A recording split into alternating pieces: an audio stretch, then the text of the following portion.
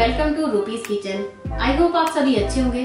आज rupees kitchen में हम बनाने वाले हैं pepper ginger garlic gravy chicken ये रेसिपी उत्तराखंड में एक सिटी है, हल्द्वानी।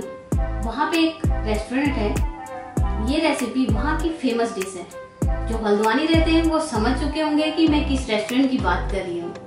ये रेसिपी को हम घर पर ही आसान तरीके से बनाएँगे और इसमें कम से कम इंग्रेडिएंट्स यूज़ करके। तो वीडियो स्टार्ट करते हैं। वीडियो स्टार्ट करने से पहले मेरे चैनल को सब्सक्राइब ज़रूर करें और साथ में बेल आइकन भी प्रेस करें। सबसे पहले हमें काली मिर्च को रोस्ट करना है। 20 से 25 मैंने यहाँ पे काली मिर्च ली है और फिर इसको मैं क्रश करके हम इसे चिकन को मैरिनेशन में यूज़ करेंगे। मैंने यहाँ पे आधा के जी करीब चिकन लिया है। अब हम चिकन को मैरिनेट करेंगे। आधा चम्मच इसमें नमक डालेंगे और डालेंगे इसमें आधा चम्मच करीब जो हमने क्रश किया हुआ काली मिर्च है, वो डाल देंगे।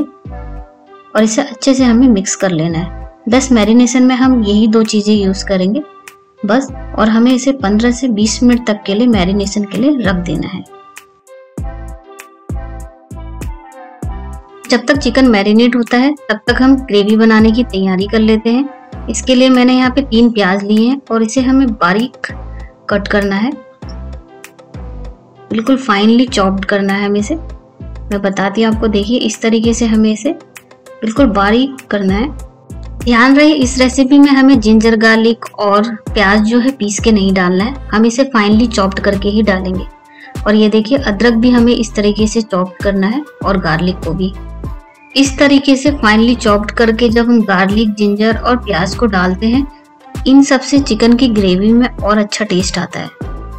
इन तीनों को मैंने फाइनली चॉप्ड कर लिया है। अब हम काजू का पेस्ट बना लेते हैं। इसके लिए यहाँ पे मैंने चार हरी मिर्च ली है और 50 ग्राम करीब काजू लिया है और इन दोनों को हम थोड़ा सा पानी डाल के अच्छे से ग्राइंड कर लेंगे। एक हमें यहाँ पे लिक्विड पेस्ट बनाना है इसका। ये हो गया है ग्राइंड और अब इसे हम एक बाउल में निकाल लेंगे। अब हम इसमें दो बड़े चम्मच करीब दही ऐड करेंगे और दो बड़े चम्मच करीब इसमें हम क्रीम ऐड कर देंगे।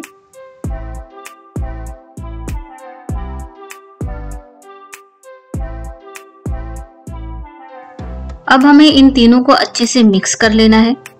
इस क्रीम से हम चिकन की ग्रेवी बनाएँगे। इससे चिकन की ग्रेवी थिक और क्रीमी बनती है। और टेस्ट तो इतना लाजवाब होता है जिसका जवाब ही नहीं है। हमें इसे बहुत अच्छे से मिक्स करना है। एक थिक लिक्विड बैटर जैसा बन जाना चाहिए। क्योंकि जो क्रीम होता है वो अच्छे से मिक्स नहीं होती है, इसलिए हमें इसे सेपरेटली मिक्स करना है। अब हम मैरिनेटेड चिकन को पकाएँगे। उसके लिए हमें एक पैन में तीन बड़े चम्मच करीब तेल डालना है और उसे अच्छे से गर्म करना है। अच्छे से तेल को गर्म होने के बाद अब इसमें हम डाल देंगे मैरिनेटेड चिकन इस रेसिपी में हम चिकन को अलग इसलिए पका रहे हैं क्योंकि अगर हम चिकन को क्रीम के साथ ही कुक करेंगे तो आपको पता है चिकन को पकने में ज़्यादा टाइम लगता है। और क्रीम को बनने में ज़्यादा टाइम नहीं लगता है। इसलिए हम क्रीम को अलग पकाएँगे और चिकन को अलग। इसे कर लेंगे अच्छे से मिक्स और मीडियम फ्लेम में हम 10 से 15 मिनट तक इसे पकने देंगे। इस तरीके से चिकन पकने में ज़्यादा टाइम नहीं लगता है और चिकन का जो टेस्ट होता है वो काफ़ी अच्छा होता है इस तरीके से पकाने से। बीच बीच में हमें करची चलाते रहना है। एक बात और है, जब भी आप चिकन बनाते हैं तो उसे 10 से 15 मिनट के लिए पहले मैरिनेशन के लिए रख लीजिए चाहे उसमें आप कम से कम मसाले डाल के ही उसे मैरिनेट कर लीजिए। इससे क्या होता है कि चिकन आधा जो है मैरिनेशन में ही पक जाता है और आप जब इसे कुक करते हैं तो इसमें ज़्यादा टाइम नहीं लगता है और ये जल्दी पक जाता है और टेस्ट भी काफ़ी अच्छा आता है। चिकन जो है पक चुका है, अब हम इसे साइड में रख लेंगे और रखना है हमें एक पैन और उसमें डालेंगे हम थोड़ा सा तेल डालना है। बाकी हम ऑयल जो है जो पका हुआ चिकन है, उसमें से ही निकालेंगे। चलो पहले हम जो पका हुआ चिकन है, उससे हम ऑयल निकाल लेते हैं। ये देखिए, सारा ऑयल हमने निकाल लेना है ग्रेवी बनाने के लिए। आप चाहें तो उसी पैन में भी इसे बना सकते हैं। चिकन के पीसेस को अलग निकाल लीजिए और उसी पैन में आप उसी तेल को गर्म कर लीजिए। पर मैं यहाँ पे अलग से बना रही हूँ। अब इसमें डालेंगे हम थोड़ा सा बटर और इसे अच्छे से मेल्ट कर लेंगे। हमें फ्लेम को लो ही रखना है अभी। अब इसमें हम डाल देंगे आधा चम्मच करीब जीरा और इसको हल्का सा ब्राउन होने देंगे।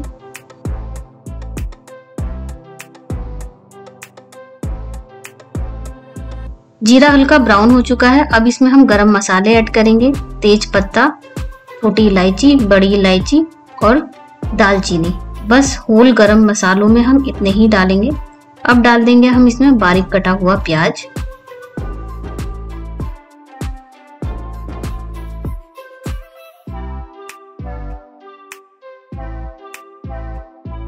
अब प्याज को कर लेंगे अच्छे से मिक्स और हमें इसे लाइट ब्राउन होने तक फ्राई करना है।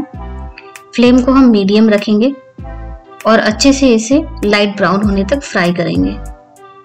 जब भी आप इस रेसिपी को ट्राई करें तो एक बात का ज़रूर ध्यान दें कि आपने इसमें बारीक काट के ही प्याज और जिंजर गार्लिक डालना है। इसमें पेस्ट हम बिल्कुल नहीं यूज़ करेंगे। पेस्ट डालने से क्या होता है? ग्रेवी का टेस्ट जो है, थोड़ा अलग हो जाएगा। प्याज हल्का ब्राउन हो चुका है। अब इसमें डाल देंगे हम बारीक कटा हुआ जिंजर और गार्लिक। और इसे भी हम अच्छे से मिक्स करके थोड़ी देर के लिए अच्छे से हम इसे पका लेंगे।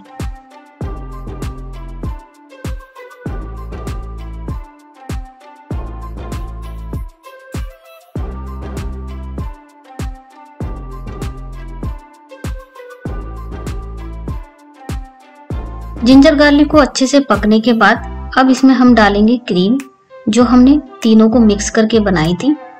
वो डाल देंगे अच्छे से।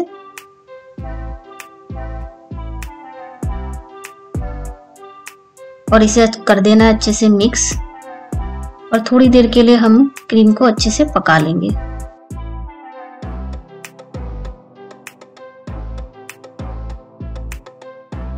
एक बात का ध्यान रहे, जब हम क्रीम पका रहे हैं, उस समय हमें करछी चलाते रहना है। और धीरे धीरे इसे पकने देना है। इसमें जो हमने क्रीम का जो पेस्ट डाला था, हमें उसी तरीके से ही हमें इसमें डालना है। हम उसको अलग अलग करके नहीं डाल सकते, क्योंकि अगर हम अलग अलग करके डालेंगे तो जो है, जो क्रीम का जो टेक्सचर है, वो उतना अच्छा नहीं बनेगा।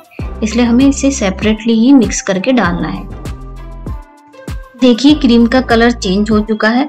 इसका मतलब क्रीम जो है पक चुकी है। अब इसमें डाल देंगे हम जो हमने फ्राई किया था चिकन उसको डाल देंगे।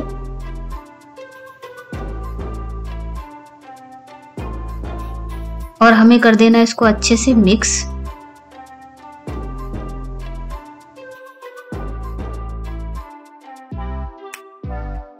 क्रीम को अच्छे से हम चिकन के साथ मिक्स करना है। उसके बाद ही हम इसमें मसाले ऐड करेंगे। मसालों में हमें ऐड करना है। आधा चम्मच करीब हम इसमें डालेंगे नमक और एक चम्मच करीब इसमें डालेंगे धनिया पाउडर और डालेंगे हम इसमें आधा चम्मच गरम मसाला। बस। अब इसे कर देंगे अच्छे से मिक्स मसालों में हम यही तीन डालेंगे। इसके अलावा और इसमें हमने कुछ नहीं डालना है।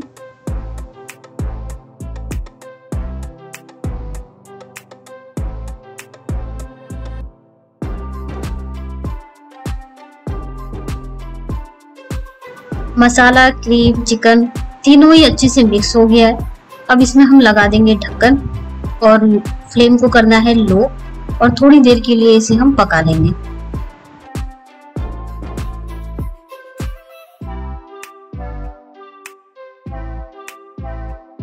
चिकन को ऑलमोस्ट 10 मिनट हो चुके हैं। अब हम चिकन को देख लेते हैं। चिकन तो ऑलरेडी हमने पहले पका चुके थे, पर लेकिन हम क्रीम के साथ इसे थोड़ी देर के लिए पकाते हैं। अब ग्रेवी को थोड़ा सा ज़्यादा करने के लिए हम इसमें थोड़ा सा पानी ऐड करेंगे। अगर आपको ऐसी ही थिक ग्रेवी चाहिए तो आप पानी ऐड ना करें।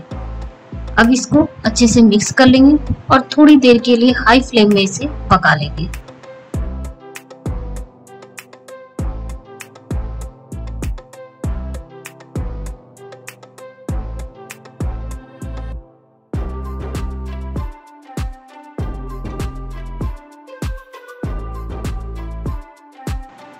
चिकन रेडी है। अब इसमें हम थोड़ा सा डालेंगे दो बड़ी हरी मिर्च, बस एक थोड़ा सा गार्निश के लिए, और इसमें डालेंगे हम क्रश किया हुआ ऊपर से काली मिर्च। ये देखिए pepper ginger garlic creamy chicken ready है। आप देख रहे हैं इसका ग्रेवी और इसका कलर कितना अच्छा दिख रहा है। और ये खाने में भी काफ़ी टेस्टी होती है। अब मैं इसको एक बाउल में निकाल के दिखाती हूँ। ये देखिए, इसके पीसेस और इसकी ग्रेवी कितनी अच्छी दिख रही है और इसका टेक्सचर भी काफ़ी अच्छा आया है और ये काफ़ी अच्छे से भी पका हुआ है। इस रेसिपी को आप एक बार ज़रूर ट्राई करें और मेरे इसी तरीके से बनाएँ। देखना आप इसे बार बार बनाएँगे और आप मुझे कमेंट में ज़रूर बताएँ कि आपकी रेसिपी कैसी बनी। आई होप आपको ये वीडियो पसंद आया होगा। इसी बात पे वीडियो को लाइक कीजिए सब्सक्राइब कीजिए और बेल आइकन दबाना ना भूलें। Thanks for watching